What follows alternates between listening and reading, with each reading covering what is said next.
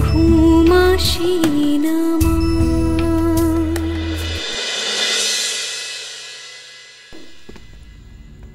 বৌদি গো?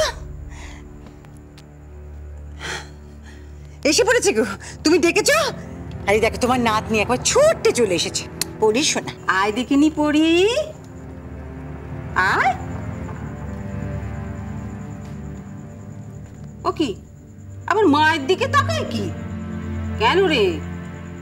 ঠাকুমার কাছে আসতে ইচ্ছে করে না? নাকি? হ্যাঁ না, ঠাকুমার কাছে আসতে নেই। এই দেখ, একে বলে নারীর টান হ্যাঁ? ঠাকুমা কত আদরের হয়, বল। বস।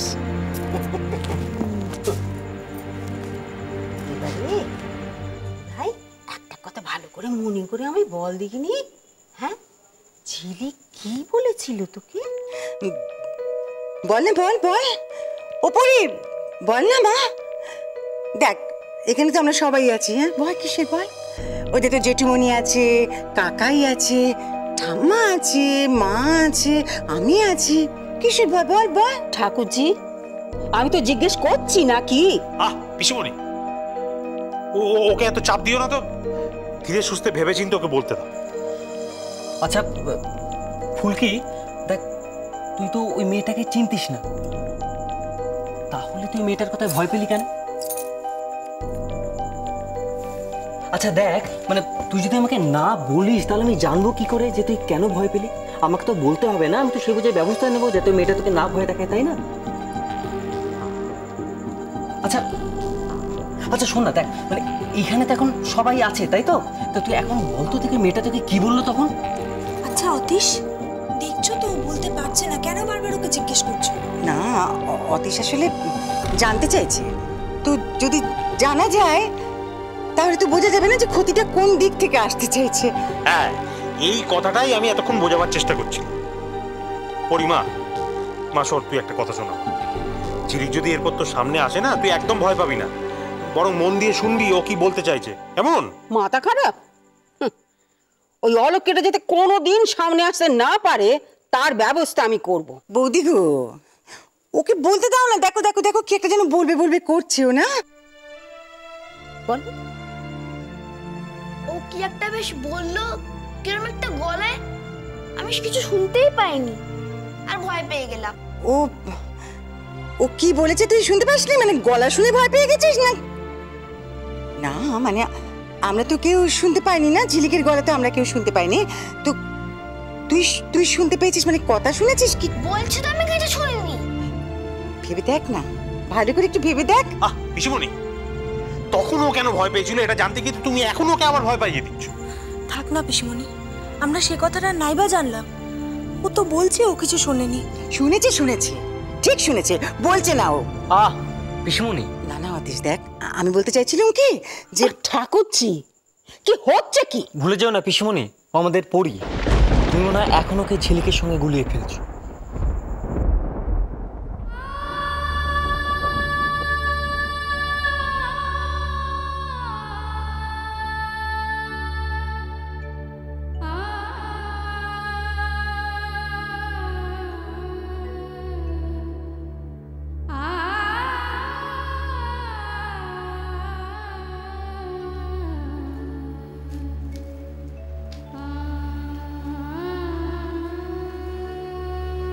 কিরে মুখ কেমন গোমরা করে রেখেছিস কেন?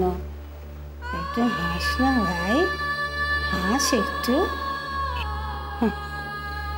আমার জ্বর হয়েছে বলে তোর খুব চিন্তা হচ্ছে?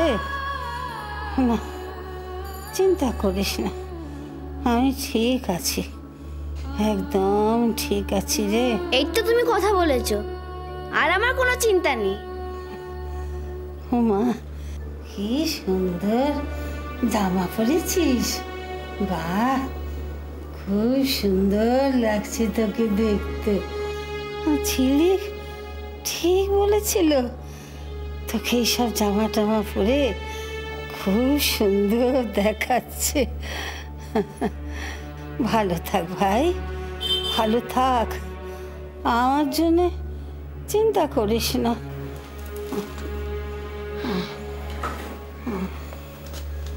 এই বুড়িটাকে ভুলে যাস না যেন। ডাকলে আসবি।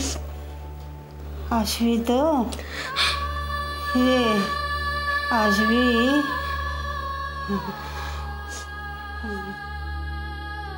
আমার জন্য। আমার জন্য ঠাকুমা এত কষ্ট পাচ্ছে। আমার জন্য।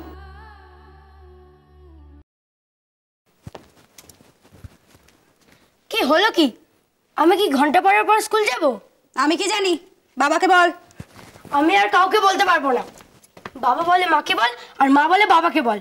আজকে কিন্তু আমার উইকলি টেস্ট কালকে যদি আবার আমাকে নির্ধারণ করে রাখে না? এই আবার মানে? হ্যাঁ? আবার নির্লাম করবে মানে কি? তুই তুই তো আর মানে এর আগে নির্লাম হয়েছিস? হ্যাঁ? কবে? কেন? ওই তো ওই দেরি করে গেছিলাম বলে একবার দেরি করে গিয়েছিলাম আবার কি? দেরি করে গিয়েছিলাম কোনোদিন তুই দেরি করে যাসনি।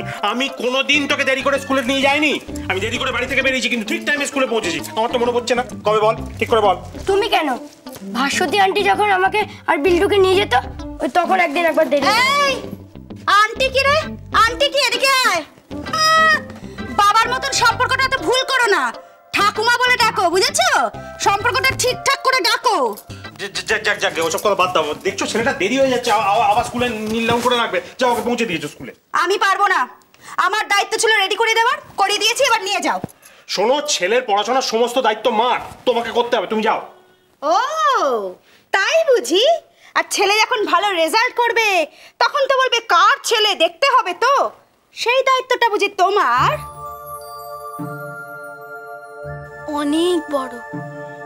ইংরেজি স্কুল। এই বিদিশা দেখো শুধু শুধু রাগ করছ কেন? দেখো আজকে আমার কাজের চাপ বলো তো। তুমি তুমি ওকে একটু পৌঁছে দিয়েছ আজকে। জেঠু। আরে পড়ি ওখানে দাঁড়িয়ে কেন মা? আয় ভেতরে আয়। আয় আয় আয়। কি হয়েছে? আমাকে স্কুলে ভর্তি করিয়ে দেবে? রাইট। আরে এটা তো আমাদের কারোর মাথায় আসেনি তো, এটা তো আমাদের কর্তব্য। বাচ্চার পড়াশোনার দায়িত্ব তার মায়ের। তোমাকে ভাবতে হবে না। না। বাচ্চাকে স্কুলে ভর্তি করার দায়িত্ব তার জেঠুর। আমাকে ভাবতেই হবে। বাবা? হ্যাঁ? আমাকে কে স্কুলে ভর্তি করিয়েছিল? আরে আরে আরে তুই তুই জেঠু পাবি কোথায়? আমিই তো বড়। মানে দেখ দেখ নীলা আমি- আমি ভালো করে বুঝিয়ে বলছি। মানে কারু কারু দেখবি বাবাই বাবা আবার বাবাই মা। আবার আবার আবার কেউ কেউ আছে যার মাই বাবা আবার মাই মা। তেমনি মানে মানে স্কুলে ভর্তি করার সময় আমিই তোর বাবা আবার আমিই তোর জেঠু। হ্যাঁ, কিন্তু কিন্তু পরি সেই প্রবলেম নেই আমি পড়ি শুধু জেঠু তাই আমি পরীকে স্কুলে ভর্তি করব। আরে দাঁড়া দাঁড়া দাঁড়া। ভর্তি করার আগে তোর একবার অ্যাডমিশন টেস্টটা নিয়ে নিয়ে তোকে কিছু জিজ্ঞেস করি কি কি নিয়ে জিজ্ঞেস করা যায় বলতো? অঙ্ক অঙ্ক। ওটা ওটা- ওটা আমার মতো ভালো ঢোকে অঙ্ক দিয়ে কি পড়ি? জিজ্ঞেস করি? করো। আরে বলতো? হ্যাঁ। কিলো নুনের দাম যদি চার টাকা হয় তাহলে একশো পঁচাত্তর গ্রাম নুনের দাম কত? একশো পঁচাত্তর? বুঝতে পারলি না? এই বলে দে তো। One hundred seventy five right one hundred seventy five এবার বল। কিরে তোর এত দেরি হচ্ছে কেন? বলছি দাঁড়াও না। একশো গ্রাম হলো চল্লিশ পয়সা আর পাচ্ছিস না? পাচ্ছিস না তো? বিদিশা বলো ঝিলিক যদি হতো তাহলে পট করে বলে দিত না?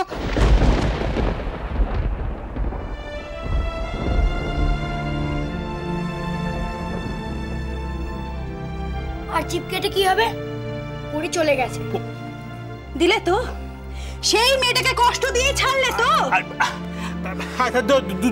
দুধ তারি আমি কেন কষ্ট দিতে যাব? আমি ঝিলিকের নাম করলে পরি কেন কষ্ট পাবে? প- প- পরি তো জানেই না চেনেই না ঝিলিককে। তার এই তুই এখনও দাঁড়িয়ে আছিস? এবার তো সত্যিই কালকে নির্লগ্ন হয়ে থাকতে হবে। চল আমার সঙ্গে।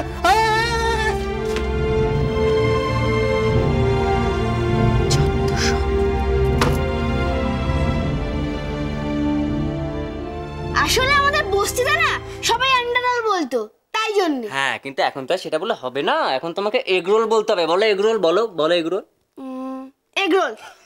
ঠিক আছে। এনে দেবো।